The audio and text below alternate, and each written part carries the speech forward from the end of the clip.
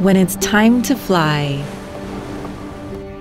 explore, and enjoy, it's also a time to learn.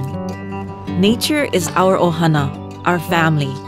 And once we understand our responsibility to Malama to care for nature, we'll understand that it's time to give back by caring for each other through unique experiences that connect us all and by taking public health precautions. Please wear a mask in public always. Remember, your mask must cover your mouth and your nose. Maintain a physical distance of six feet and wash your hands frequently. And know that when you do, you're sharing aloha with your fellow travelers and the people of Maui, Lanai, and Molokai.